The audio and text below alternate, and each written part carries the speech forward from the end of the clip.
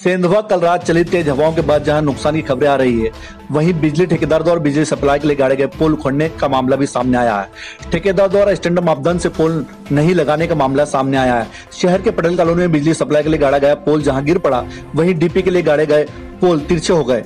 शुक्र यह रहा कि फ़िलहाल इन बिजली पोलों से बिजली सप्लाई बंद था, जिससे बड़ा हादसा टल गया। रहवासियों ने आरोप लगाया है कि जिस वक्त बिजली पोल गाड़े गए थे, उस वक्त इस बात का ध्यान नहीं रखा गया था कि गड्ढे सही खोदे गए हैं या नहीं। गड्ढे कम खोदे गए थे, इसी वजह से यह हादसा हुआ। कल कुछ हवाएँ चली, उसी में ये खंबा गिर चुका है और एक ये कंपनी की लापरवाही जो इन्होंने कुछ इसमें सीमेंट गलत तरीके की डाली, इससे कुछ एक हादसा हो सकता था, बड़ा वो हादसा होते होते बचा, पर आगे और ऐसे खंबे बहुत सारे जो गिर सकते हैं कंपनी को आगे से देखना चाहिए कि आगे कुछ हादसा नहीं हो और देखे ध्यान दे। नहीं तो आ, आगे और बरसात आने वाली कुछ हवाएँ चली तो उसमें हादसे हो सकते हैं बड़ी कॉलोनी में ये कार्य एक महीने समय पहले हुआ सर अभी ज़्यादा समय नहीं हुआ इसको और कुछ दिन पहले ही लाइट चालू हुई चार पाँच दिन पहले यहाँ पे।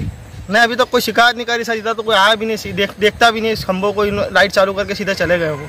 वहीं इस मामले में बिजली विभाग के डी सखराम करते हुए मानते हैं कि स्टैंडर्ड मापदंड के आधार पर पोल नहीं गाड़े गए थे, जिसको लेकर बिजली ठेकेदार को नोटिस देने के साथ ही इंजीनियर से भी जवाब तलब किया जाएगा। उनका यह भी कहना कि फ़िलहाल ठेकेदार को बिजली पोलों को दुरुस्त करने के लिए कहा गया है। कल की तारीख में एक्चुअल में क्या बहुत तेज हवाएँ चल रही थी।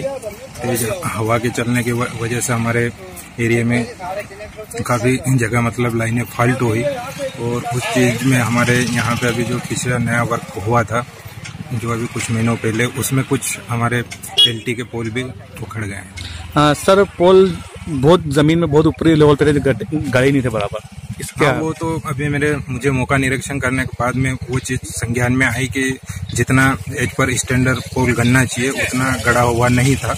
जिसकी वजह से मतलब ये जो हवा का प्रेशर पोल झेल नहीं पाया और वो मतलब उखड़ गए सर ठेकेदार को क्या कार्रवाई की जाएगी? ठेकेदार को अभी तो जो फ़िलहाल जो पोल मतलब निकल गया है उसके लिए तो अभी तो रेक्टिफिकेशन कार्य के लिए उसको तो निर्देशित कर दिया गया है और उसे अभी नोटिस भी जारी किया जाएगा। इसमें हमारे जो ठेकेदार तो जो काम करता है लेकिन हमारे जो इंजीनियर जो लोकल इंचार्ज होते हैं उनको मतलब सुपरविजन का दायित्व होता है कि जो समय समय पे जाके वो जो वर्क हो रहा है उसका सुपरविजन तो कहीं ना कहीं उनकी भी लापरवाही है कि पोल अभी भी हवा में कुछ पोल हल रहे हैं लगातार ज़मीन में कम गड़े हैं बड़ा हादसा हो सकता है। नहीं वो तो बिल्कुल है कि जब काम चल रहा था तो वहाँ पे जो हमारे साइड जो सुपरविजन जो अधिकारी कर रहे थे उनको मतलब वो चीज़ ध्यान देना चाहिए था और एच पर स्टैंडर्ड करने के लिए या फिर जो हमारा कॉन्ट्रेक्टर एच पर स्टैंडर्ड नहीं कर पा रहा है तो उसके लिए मतलब वो नोटिस में वो चीज़ लाना चाहिए थी लेकिन सर इंजीनियर के विरुद्ध कुछ कार्रवाई की जाएगी? कुछ सूचना दी जाएगी? इंजीनियर तो हम जवाब मांगे उनसे क्योंकि आपने टाइम पे जब वर्क चल रहा था उस टाइम क्यों नहीं किया थैंक यू अब यह सवाल उठता है कि इतनी बड़ी लापरवाही के लिए ठेकेदार और इंजीनियर पर क्या कार्रवाई की जाएगी? यह तो आने वाला वक्त बताएगा। लेकिन अगर विद्युत सप्लाई चालू होती तो बड़ा हादसा हो सकता था और लोगों को बड़ा नुकसान हो सकता था।